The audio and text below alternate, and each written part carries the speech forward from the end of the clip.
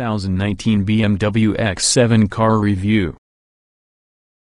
The X7's styling is unsurprisingly comparable to its smaller X5 siblings, despite an increase in every exterior dimension except width. It's a substantial machine, measuring nearly 17 feet long, so that it is 9 inches over the X5 and 1.3 inches over the GLS 450. Its colossal kidney grille enlarges the X7's nose to emergency rhinoplasty proportions. At least for the present time, the X7 can have the same drivetrain lineup because the X5, with two engine options sending torque to every one four wheels. The xDrive 40i will depend on the free spinning, 335 horsepower turbocharged 3.0-liter inline that appears over the BMW portfolio. Even when tasked with moving greater than 5,000 pounds, just as this application, the engine works wonderfully. But it is America, so a 456 horsepower twin-turbo 4.4-liter V8 offers the muscle from the xDrive 50i. Its plateau of 479 pound-feet of torque starts way down at 1,500 revolutions per minute and extends all the way to 4,750. We expect the sprint to 60 miles per hour to adopt a short 4.6 seconds if your X7 has the V8 as well as a still respectable 5.5 seconds with all the six-cylinder. BMW's burly quad-turbo diesel inline E6 won't allow it to be stateside, but American tuggers with either engine and also the factory-installed hitch should chose the 7,500-pound tow as adequate nonetheless. Predictably, ZF's glorious 8-horsepower transmission handles gear swaps. This 8-speed automatic is not sleepy, providing quick shifts whether thinking for itself or in the command on the wheel-mounted paddles. The X7 shares BMW's new expandable modular car platform with everything through the X5 on the new G23 series. Many in the suspension parts are shared while using X5, albeit with X7-specific bushing tuning. The front and rear multi-link units are held by standard adaptive dampers and air springs on both models. Even about the optional 22-inch wheels, the ride is calm in every four drive modes Sport, Comfort, Eco Pro, and Adaptive, mostly. Sharp impacts still occasionally make their way into the cabin, something BMW's chassis specialists have to say is purely this product of wheel size, Hardly surprising vehicle this girthy with standard 21s. BMW is quick to trumpet the X7's off-road chops. The off-road package provided with either engine provides modest underbody protection, a limited slip rear differential clutch type on 40i trims, electronically controlled around the 50i, and 4 ride height and stability control altering X off-road modes X sand, X rocks, X-gravel, and X-snow. For the paved parts with the world likely to be the X7's domain, the UT is available while using Dynamic Handling Package. It adds larger brakes, rear wheel steering, active anti-roll bars, and, on V8 models, the electronically controlled rear differential. The M Sport package is much more of a visual enhancement replacing the outside chrome with black trim and being fashionable the interior by having an M Sport steering wheel and also a faux suede headliner, although it does will include a throatier exhaust. While that sounds great, we'll have to consider BMW's word for doing this until we can easily drive one elsewhere. On the roads carefully selected by BMW with this first drive, we never really have got to test Nowacki's assertion how the X7 handles what sort of BMW should.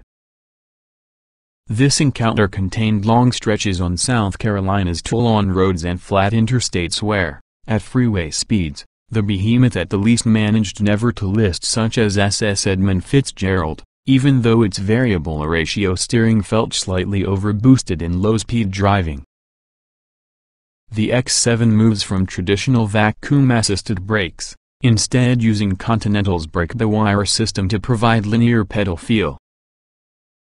But do buyers these things mind about vehicle dynamics?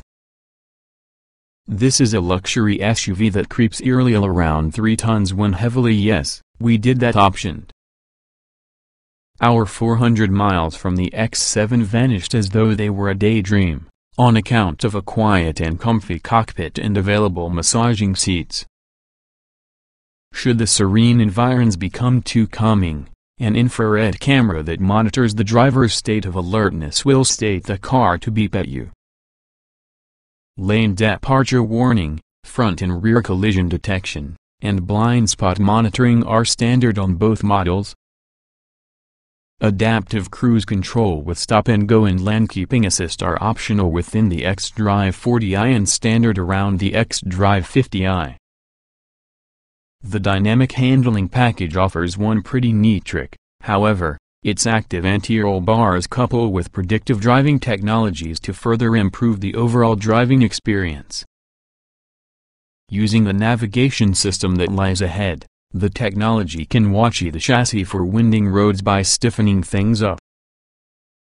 Also, the X7's cameras help enable a smoother ride using the active anti-roll bars and adaptive dampers to avoid the wheels from dropping into road craters.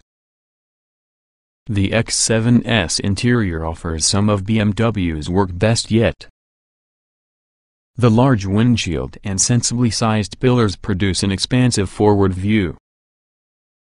For a price, the top cup holders is usually heated and cooled, virtually any surface might be covered in leather, as well as the shifter as well as other controls could be specced in glass. Even the plastics feel a notch higher than the competition's. The 12.3-inch infotainment screen renders crisp images and is also easy to operate by using a finger within the touchscreen or with all the familiar iDrive control knob were not fans on the opposing swings in the speedometer and tachometer about the digital instrument cluster, though. Fortunately, physical buttons remain to manage most VAC controls. Seating options where the X7 separates itself through the X5.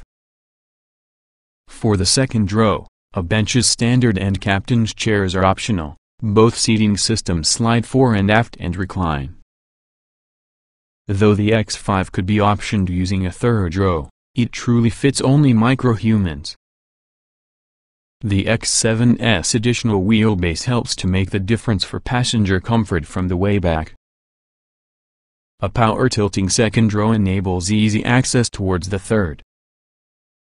The cold weather package adds heated seats for everyone 3 rows and 5 zone climate control as well as an available rear seat entertainment system tacks a 10.2-inch touchscreen on the back of each and every front seat, giving second row occupants something to stare at.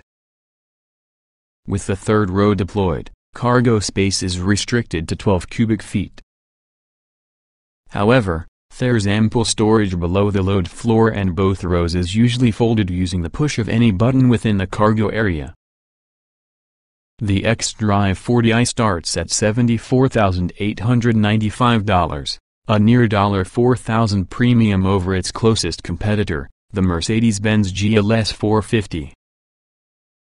The xDrive 50i, however, starts at $93,595, undercutting the V8 Power GLS 550 by greater than $3,000. Adding options quickly drives the retail price beyond six figures. But this big BMW's refinement, thoroughly modern interior, and sheer enormity ensure it is impossible to overlook, regardless of whether the jury remains to be out on its dynamics.